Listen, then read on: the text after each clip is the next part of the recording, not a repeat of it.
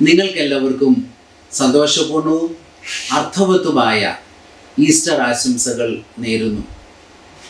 പ്രതികൂലതകൾ ധാരാളമുള്ളൊരു ലോകത്തിൽ നാം ജീവിക്കുക അശാന്തി നിറഞ്ഞൊരു ലോകത്തിൽ നാം ജീവിക്കുകയാണ്.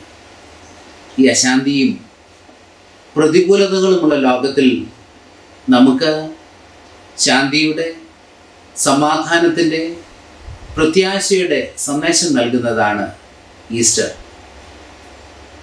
യേശു കർത്താവ് ഈ ലോകത്തിൽ മനുഷ്യനായി അവതരിച്ചു. എന്റെയും നിങ്ങളുടെയും വിടുതലിനായി. എന്നെയും നിങ്ങളെയും സ്നേഹിക്കുന്നു എന്നതിന്റെ സൂചനയായി.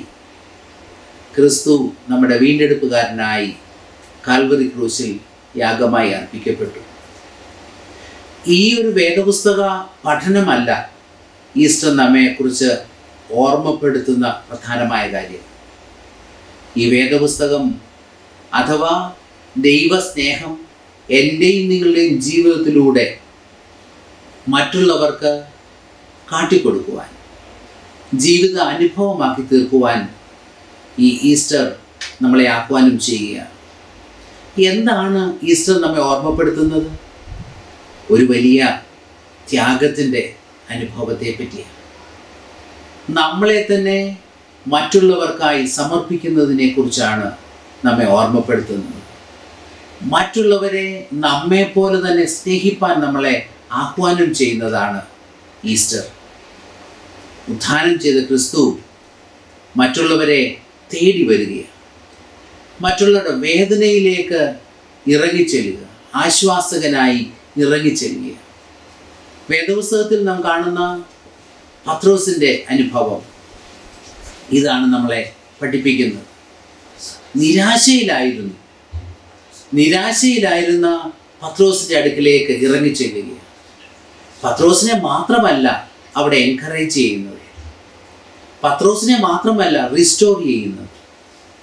അവന്റെ സാഹചര്യങ്ങളിലേക്ക് ഇറങ്ങിച്ചെന്ന് അവനെ വീണ്ടെടുക്കുന്ന അവനെ ജീവിതത്തിലേക്ക് തിരികെ കൊണ്ടുവരുന്ന വലിയൊരു പ്രക്രിയയാണ് നമ്മളവിടെ കാണുന്നത്. തോമസിന്റെ അനുഭവത്തിലേക്ക് ഇറങ്ങി ചെല്ലുന്ന യേശു കർത്താവ് സംശയാലുവായിരുന്നു. അവന്റെ അടുക്കിലേക്ക് ഇറങ്ങി ചെല്ലുന്ന ധൈര്യം കൊടുക്കുന്ന പ്രതീക്ഷ നൽകുന്ന അനുഭവം. അതുകൊണ്ട് ഈസ്റ്റർ നമ്മെ ഈ ഈസ്റ്റർ നമ്മെ ഓർമ്മപ്പെടുത്തുന്ന അനുഭവം എന്നത് മറ്റുള്ളവരെ കരുതുവാൻ അശാന്തിയിലായിരിക്കുന്നവർ പലവിധമായ പ്രതികൂലതകളിലായിരിക്കുന്നവർ അവരുടെ അടുക്കിലേക്ക് ഇറങ്ങിച്ചെല്ലുവാൻ അവർക്ക് ആത്മധൈര്യം കൊടുക്കുവാൻ ജീവിതത്തിന്റെ യഥാർത്ഥമായ അനുഭവത്തിലേക്ക് അവരെ തിരികെ കൊണ്ടുവരുവാൻ യഥാർത്ഥമായ സന്തോഷത്തിലേക്ക് അവരെ നയിക്കുവാൻ നമ്മളെ ആഹ്വാനം ചെയ്യുക. ഇതാർക്കാ സാധിക്കുന്നത്? പുനരുദ്ധാനം ചെയ്ത ക്രിസ്തുവിലുള്ള സ്നേഹത്തിൽ ജീവിക്കുന്നവർക്ക് മാത്രമേ സാധ്യമാകുകയുള്ളൂ. അതുകൊണ്ട് ഉദ്ധാനം ചെയ്ത യേശു കർത്താവുള്ള സമർപ്പണത്തോടെ ലോകത്തിലേക്ക് നമുക്ക് ഇറങ്ങാം. പ്രതിസന്ധിയിലായിരിക്കുന്നവരെ അവരുടെ അടുക്കിലേക്ക് ഇറങ്ങിച്ചെന്ന് ആത്മധൈര്യം നൽകുവാൻ ക്രിസ്തുവിന്റെ സ്നേഹത്തിന്റെ ചാലകങ്ങളായി തീരുവാൻ ദൈവം നമ്മെ എല്ലാവരെയും പ്രാപ്തരാക്കട്ടെ എന്ന് പ്രാർത്ഥിക്കുന്നു. ഒരിക്കൽ കൂടെ നിങ്ങൾക്കെല്ലാവർക്കും ഈസ്റ്ററിന്റെ എല്ലാ നന്മയും നേരുന്നു. ദൈവം നിങ്ങളെ ധാരാളമായി അനുഗ്രഹിക്കട്ടെ.